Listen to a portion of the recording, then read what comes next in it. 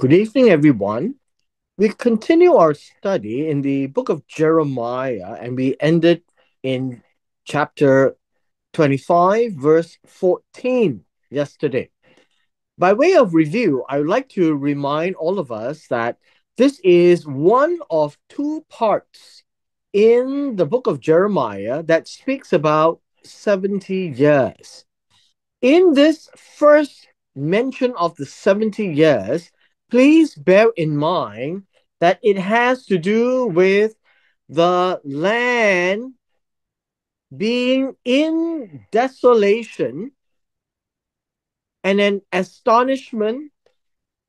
And this is an important aspect that we need to remember. It's about the land in desolation. So we call this a 70 years of desolation.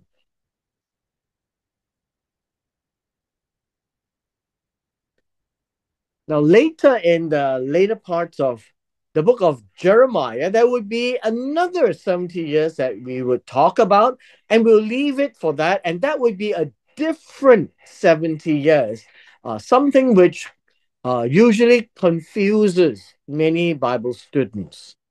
We continue from verse 15 to the end for today. God continues to speak through Jeremiah, for thus says the Lord God of Israel to me. And now we see some very serious words being said.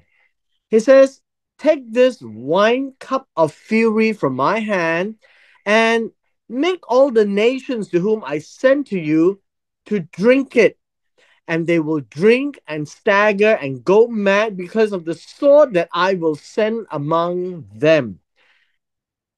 If we take a look at this, the key here is the cup of wine. Now, understand that this is not our usual cup. It could be like a chalice. But the idea here for this chapter, you would find that things are concerned with wine, with getting drunk, with producing wine with grapes. Now, all of this has to do with the imagery that God is showing to Jeremiah concerning the punishment that is coming.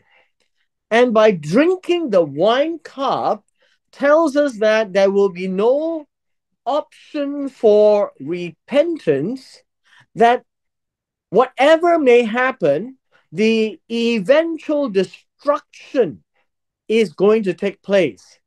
And the wine cup is taken by all the nations and as they drink, they will drink to become drunk. And when they become drunk, then you would find that they will drink, they will stagger. And the idea of stagger here is to is to walk unbalanced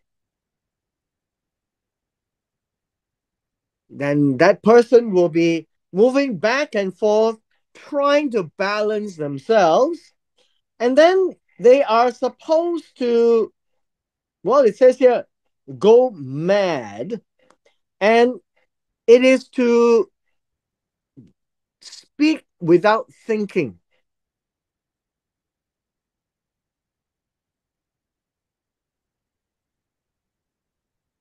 So think of it this way that these are all expressions of being drunk. This is an imagery, obviously. And as the imagery goes, it is because God is causing the sword that is going to be sent, and this sword will be the sword of Nebuchadnezzar. And they will not understand or appreciate the violence that's going to come upon all the nations and they will be running around trying to defend themselves, but it will be futile. And so the picture that God is giving is as if they have drunk too much wine. You see, when you drink a little wine, you are joyful. When you drink too much wine, you become drunk and you cannot think straight. You cannot walk straight. You cannot speak right. And you tend to do things that is literally crazy. And this is the imagery that is being painted to us. In verse 17, it tells us this. And then, after God said this, in this vision, Jeremiah took the cup from the Lord's hand, and then, this is a narrative, and then Jeremiah made all the nations drink. So you, you can see that this is an imagery. It is not literal, but in that vision, you see Jeremiah doing that. To whom the Lord had sent me. Who are they? They will be Jerusalem, the cities of Judah, its kings. That would be uh, Jehoiakim, and then Zedekiah, and its princes, to make them a desolation, an astonishment, a hissing, a mockery, and a curse as this day, as the this day that is being spoken of. As we read la- yesterday, you would find that this is a pronouncement of what God will do through his servant Nebuchadnezzar. And not because Nebuchadnezzar is faithful to God, but he is faithful to be used as a weapon, as a sword of God to deal with all these nations once and for all. Now, besides Jerusalem and the cities of Judah, and we're not talking about the northern kingdom, we're talking about the southern kingdom. Because the northern kingdom, uh, Shalmaneser, has already deposed them. It's gone. Now it's only the southern kingdom. And in the southern kingdom, Nebuchadnezzar is not only treating the kingdom of Judah, he will go as far as Egypt. So Pharaoh, the king of Egypt, his servants, his princes, and all his people, all the mixed multitude, mixed multitude will be all kinds of people that will live in the land of Egypt as well. All the kings of the land of Uz, all the kings in the land of the Philistines. The Philistines that we know when we had started with First Samuel, they actually occupy the southwest corner of Judah. And so you find that all these names are familiar names and they are named as major cities because they are major. Ashkelon, Gaza, Ekron, uh, Ashdod.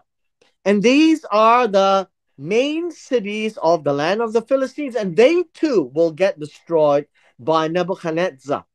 Then we have Edom, Moab, the people of Ammon, and that would be on the eastern shore of the Jordan. And then all the kings of Tyre, the kings of Sidon, and of the coastlands which are across the sea. Now, all of these will be the what we call the northern coastal region, uh, north of Israel, on the coast. Then we have Dedan, Tema, Buz, and all who are in the farthest corners. Now, by this, we would be looking at the inhabitants uh, that would be very much the south east of Israel. And then we go down to verse 24, and he says, All the kings of Arabia. Now, this word in verse 24 is uh.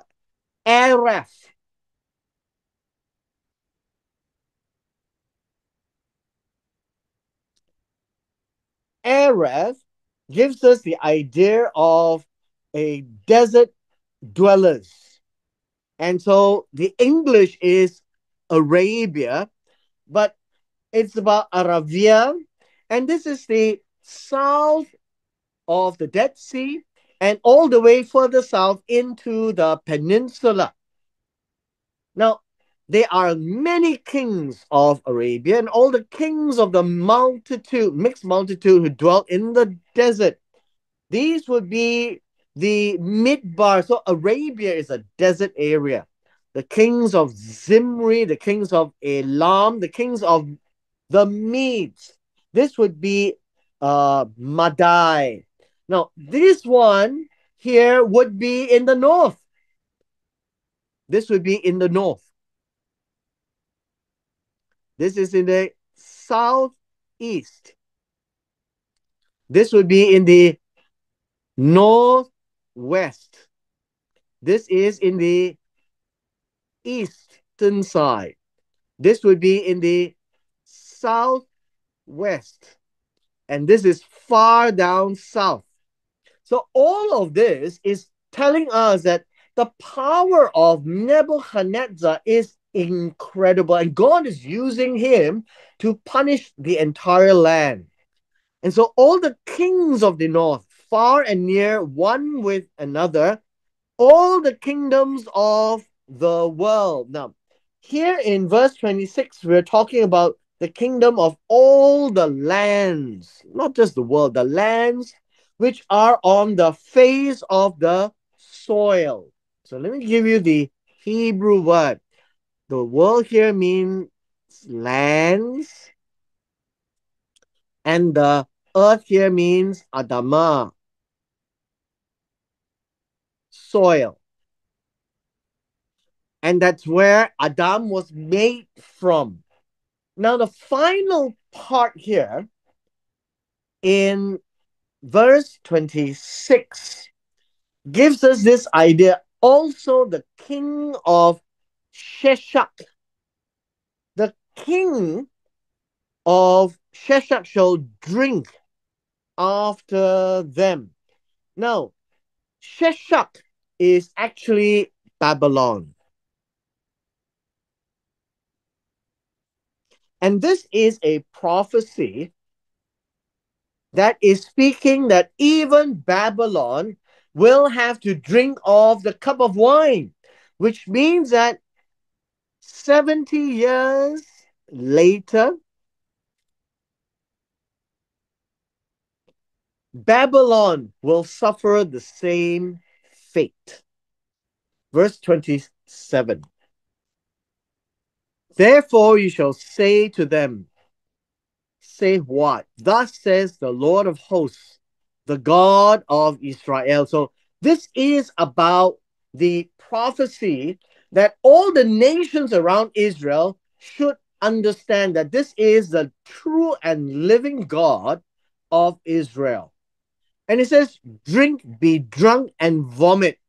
Now, all of this is a series of actions of drinking wine and drinking intoxicated drink and getting drunk. And once you get drunk to the point, you start to vomit. That's the idea that's being painted here that it is going to be totally drunkenness amidst all the nations. Fall and rise no more because of the sword which I will be sending to you. That is the imagery of the drunkenness. And it shall be if they refuse to take the cup from your hand to drink, then you shall say to them, Thus says the Lord of hosts, you shall certainly drink, you shall definitely drink, you shall start to drink and drink the entire cup. For behold, I begin to bring calamity on the city which is called by my name, Jerusalem. Should you be utterly unpunished? Should you be utterly unpunished if God is going to destroy Jerusalem, the city called by his name? What more will the rest of the nations around Israel being subjected to? Can they be unpunished? And so God says, No, absolutely. You shall not be unpunished. For I will call for a sword on all the inhabitants of the land, says the Lord of hosts. Verse 30. Therefore, again, speaking to Jeremiah, speak as a prophet against them all these words and say to them. So, this idea of prophesy is actually to speak like a prophet and say this Jehovah will roar from on high and utter his voice from his holy habitation. As we read through this, you will be able to understand very clearly. Will roar from on high means the sound of the roaring comes from the skies. His holy habitation, the temple. He will roar mightily against his foe, his people. He will give a shout as those who tread the grapes against all the inhabitants of the earth. Now, this word, he will give a shout. It actually says that he will shout out Hadad. So, verse 30 says he shouts out the name Hadad. Now, this word Hadad, it's a loud shout as a cheer that usually people who are pressing grapes will will will motivate each other by calling them to Hadad. And that would be the name. Hadad is to encourage those who step on grapes to keep stepping. And so this is a picture that's given to us that God is going to encourage those who tread grapes against all the inhabitants of the earth. And so this picture that we are given is a picture of people who are stepping on grapes. It's about the production of wine. And they shout out the, the name Hadad. And they shout out to each other to encourage each other to continue treading. So, this picture of treading the grapes essentially is the bringing of destruction.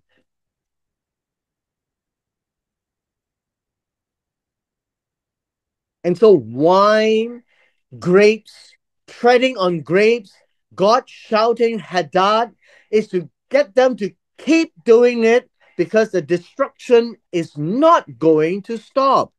A noise will come to the ends of the earth, for the Lord has a controversy with the nations. Now, verse 31, it talks about a case that God is bringing to the nation.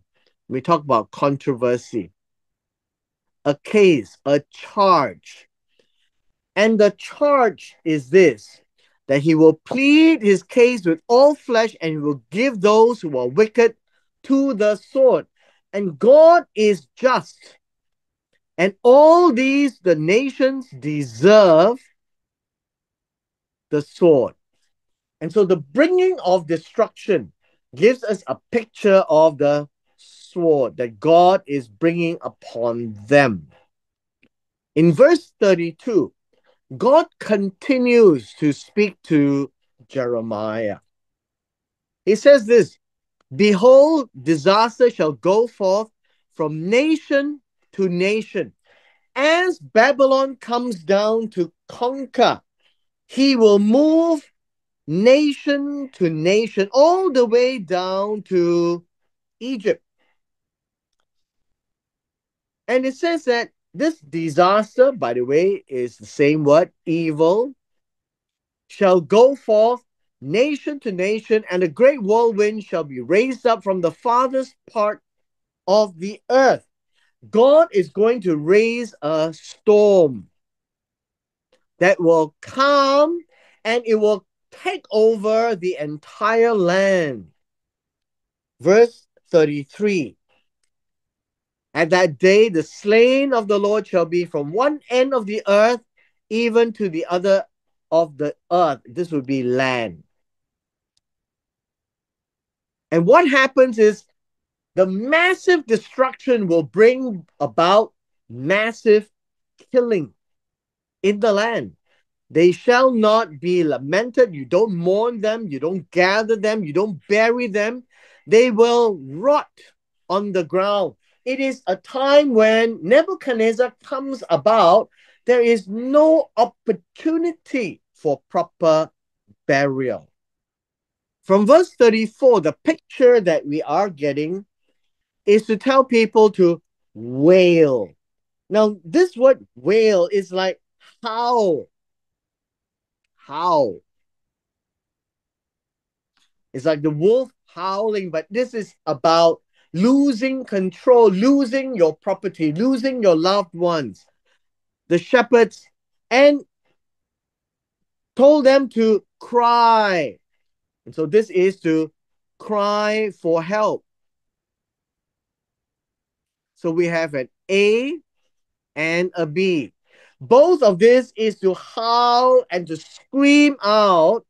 And then it says here, roll about in the ashes, you leaders of the flock, for the days of your slaughter and your dispersions are fulfilled. It will happen. You shall fall like a precious vessel.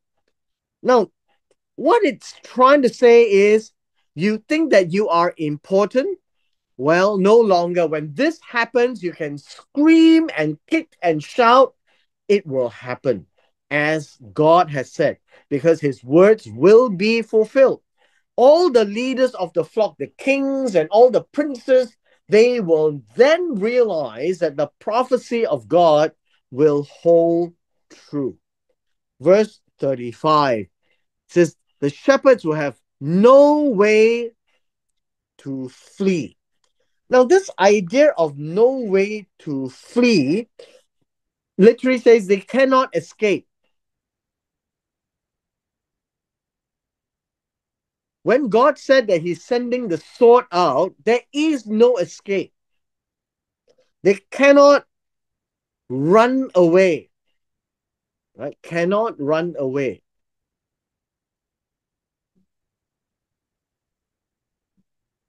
And so we have here an A and a B. Now the leaders of the flock escape. This is an A, this is a B. We are getting a, a, a series of pairs here, of synonyms, to emphasize the eventual consequence of the sword that God is sending. A voice of the cry from the shepherds. And then a wailing of the leaders of the flock will be heard. This is an A and a B. Understand the cry for help, the howling. Then we are told, for the Lord has plundered their pasture. The shepherds, which are the leaders, they will eventually see that everything they had will be gone. They will be taken as spoils by Nebuchadnezzar. Verse 37. And the peaceful dwellings are cut down because of the fierce anger of the Lord. The punishment, Nebuchadnezzar,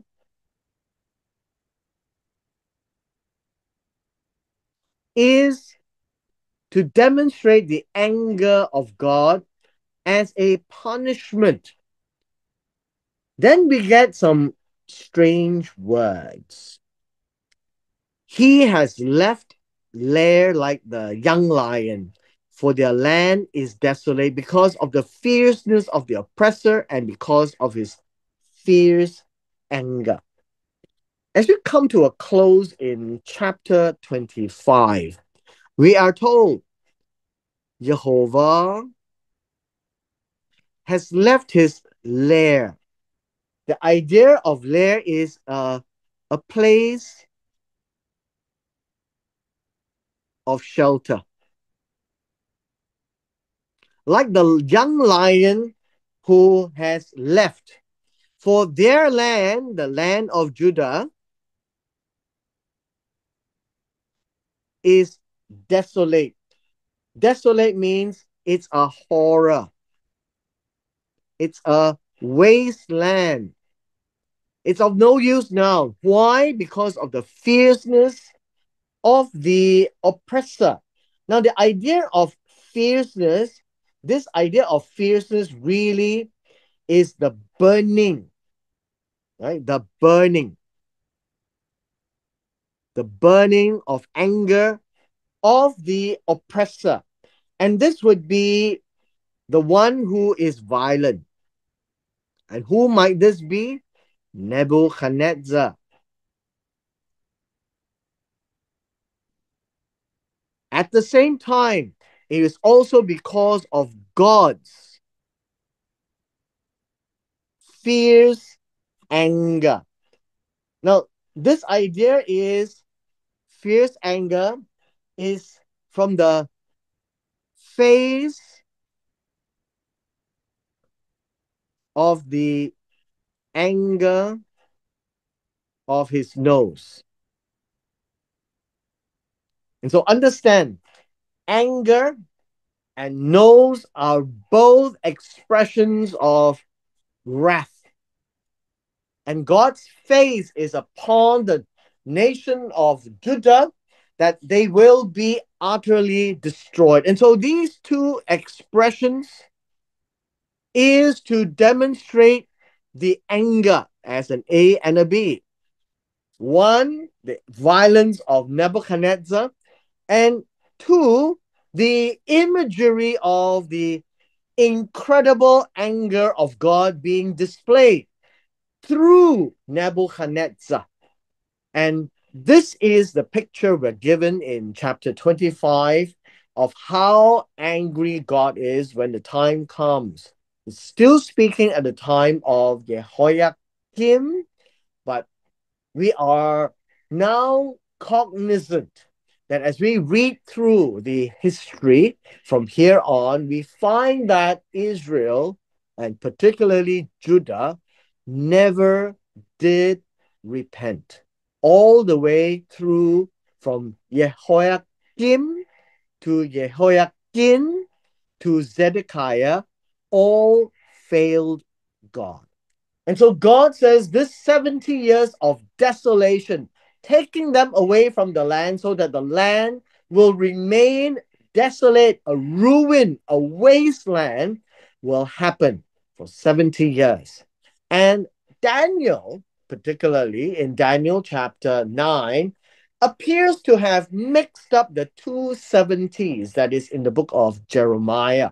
And so we will deal with the second 70 in time to come. But in chapter 25, again, I remind all of us, this is the first of the 70 years, the 70 years of desolation. And with this, we come to the end of our session today.